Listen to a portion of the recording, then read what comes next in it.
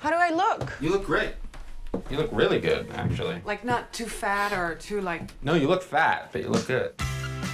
After two romantic weeks in Venice, Jack and Marion have to spend two days in Paris.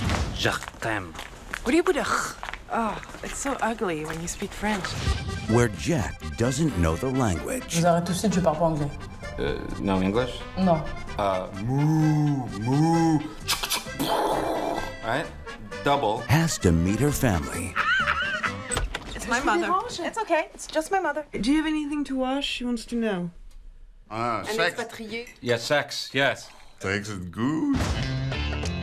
and discovers just how many ex-boyfriends she has. You speak French No, no. Et euh, alors code 9, alors ça veut dire tu restes aux États-Unis Oh, arrête, arrête. Ouais, je te jure.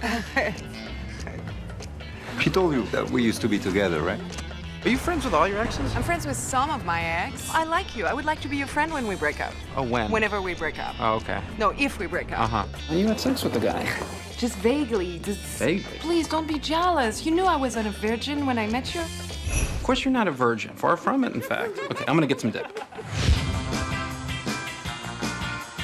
In France, apparently, I mean, like maybe having a little sex on the side is like, you know, going fishing. Sex fun.